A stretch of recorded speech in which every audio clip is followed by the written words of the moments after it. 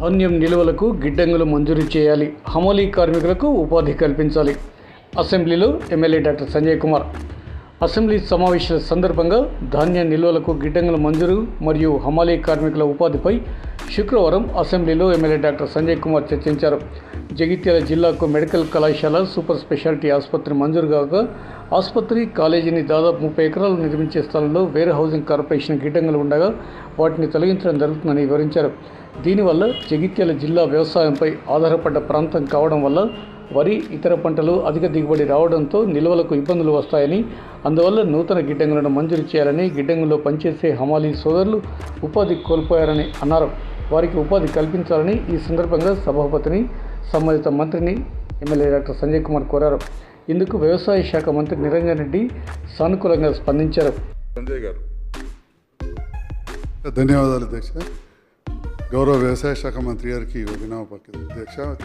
జగిత్యాల పట్టణంలో medical college వస్తున్న సందర్భంలో వేర్ హౌసింగ్ కార్పొరేషన్ గోడౌన్స్ వారు ఇచ్చినందుకు ధన్యవాదాలు తెలియజేస్తూ నూతనంగా వేర్ హౌసింగ్ కార్పొరేషన్ నుంచి కానీ ఇతర గోడౌన్స్ ఇవ్వాల్సిందే కోరుతున్నాం ఎందుకంటే ధాన్యం అత్యధికంగా వచ్చే ప్రాంతం.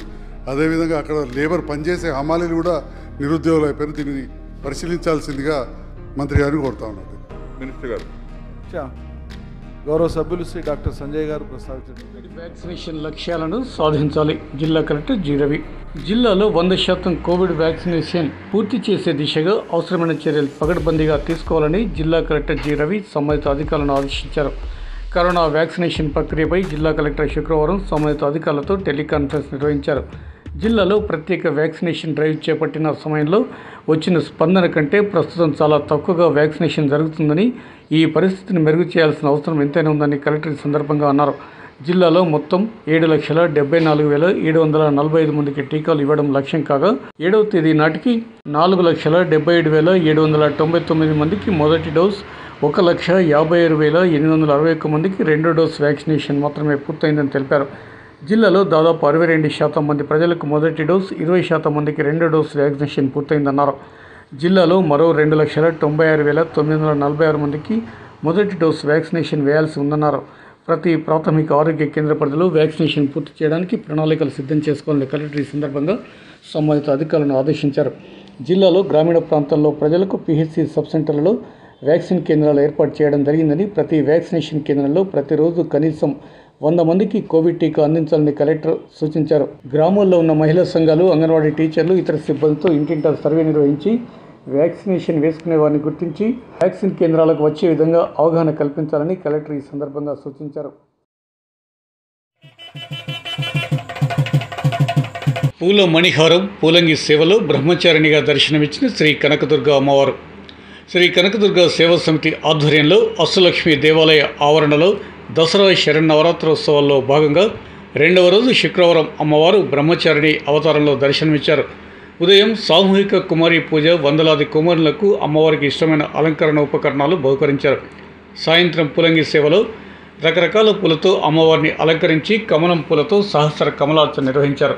అనంతరం శక్తి స్వరూపిణికి అత్యంత ప్రీతికరమైన వందలాది మాతలచే సామూహిక కుంకుమార్చన వేద బ్రాహ్మణులచే మంత్రోచ్చరణ కుంకుమ పూజ విశిష్ట ప్రవచనాలతో వైభవంగా నిర్వహించారు. అనంతరం అమ్మవారికి సప్తాహారతులు నక్షత్ర హారతి తీర్థప్రసాద వితరణ నిర్వహించారు. అమ్మవారిని దర్శించుకున్న భక్తులందరికీ అన్నదాన కార్యక్రమం నిర్వహించారు. ఈ కార్యక్రమంలో పలువురు కమిటీ సభ్యులతో పాటు భక్తజనం పాల్గొన్నారు.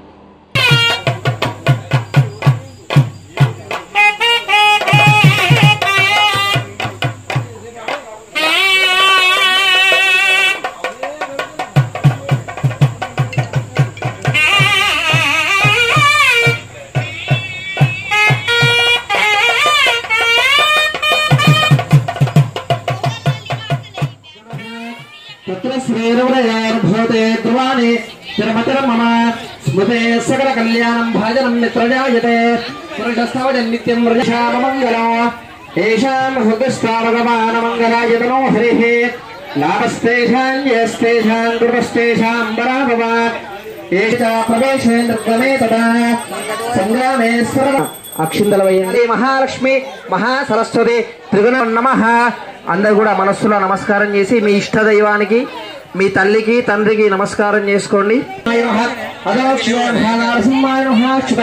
శ్రీ పరమేశ్వర ఉద్దిశ్య జిల్లా కలెక్టర్ రవిని ఆయన ఛాంబర్లో మర్యాదపూర్వకంగా కలిసి పూల మొక్కను అందజేసిన డీఎస్పీ రవీందర్ రెడ్డి. మెట్పల్లి డీఎస్పీగా వంగ రవీందర్ రెడ్డి నూతనంగా విధుల్లో చేరిన అనంతరం జగిత్యాల జిల్లా కలెక్టర్ కార్యాలయంలోని జిల్లా కలెక్టర్ ఛాంబర్లో కలెక్టర్ రవిని శుక్రవారం మర్యాదపూర్వకంగా కలిసి పూల మొక్కను అందజేశారు. ఈ సందర్భంగా కలెక్టర్ రవి ఆయనకు శుభాకాంక్షలు తెలిపారు. మెట్పెల్లిలో శాంతి భద్రతల గురించి చర్చించారు. గల్ఫ్ మృతులకు డెత్ డ్యూస్ అందజేసిన జిల్లా కలెక్టర్ రవి. మేడిపల్లి మండల కేంద్రానికి చెందిన మొహమ్మద్ బషీరుద్దీన్ సౌదీ అరేబియాలో కోవిడ్తో చనిపోగా అతనికి చెందిన డెత్ డ్యూస్లను శుక్రవారం జిల్లా కలెక్టర్ కార్యాలయంలో మృతుని భార్యలు అఫ్రోజ్ సుల్తానా ఫహీం సుల్తానాకు ముప్పై నాలుగు వేల ఆరు వందల నలభై ఎనిమిది రూపాయల చొప్పున రెండు చెక్లను జిల్లా కలెక్టర్ జి రవి తన ఛాంబర్లో అందజేశారు. అలాగే రాయకల్ మండలం భూపత్పూర్ గ్రామానికి చెందిన పిట్టల రాజయ్య సౌదీ అరేబియాలో గుండె జబ్బుతో మృతి చెందగా అతనికి చెందిన డెత్ డ్యూస్ నాలుగు లక్షల తొంభై మూడు వేల ఒక వంద నలభై ఎనిమిది రూపాయల చెక్కును మృతుని భార్య పిట్టల సుశీలకు జిల్లా కలెక్టర్ కార్యాలయంలో కలెక్టర్ రవి అందజేశారు.